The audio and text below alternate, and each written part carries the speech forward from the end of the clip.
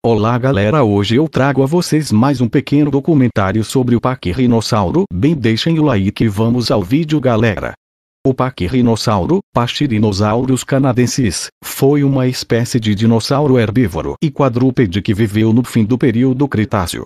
Media de 5,5 a 7 metros de comprimento, 3,5 metros de altura e pesava em torno de 3 toneladas. O paquirrinossauro viveu na América do Norte e seus fósseis foram encontrados no Alasca e em Alberta, no Canadá.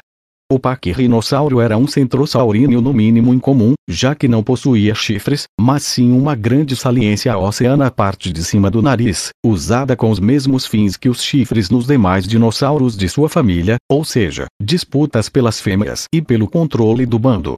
Deviam existir grandes manadas de paquirrinossauros vagando pela América do Norte no fim do Cretáceo. Acredita-se também que esses dinossauros migravam de acordo com as estações do ano. Para decidir o novo líder da manada os paquirrinossauros faziam disputas de cabeçadas, geralmente o líder contra todos os jovens machos adultos. O paquirrinossauro, lagarto de nariz espesso, viveu na América do Norte no fim do período Cretáceo, há 70 milhões de anos.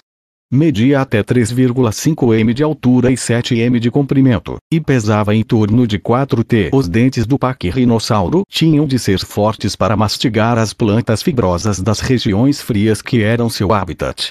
Em vez de enormes chifres, o crânio trazia saliências ósseas ásperas e achatadas, uma grande sobre o focinho e outra menor sobre os olhos, que deveriam ter sido usadas em combates entre os machos.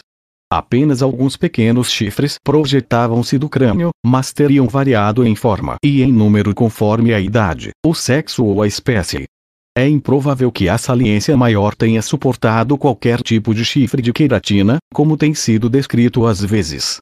Esse dinossauro maciço provavelmente andou em grandes manadas, migrando sazonalmente.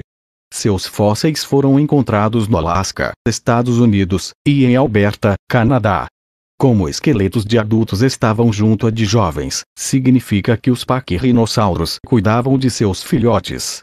Agora vamos falar de suas informações principais do paquirrinossauro para verificar se ele tem força e potência para entrar em um combate futuramente. Bem vamos lá.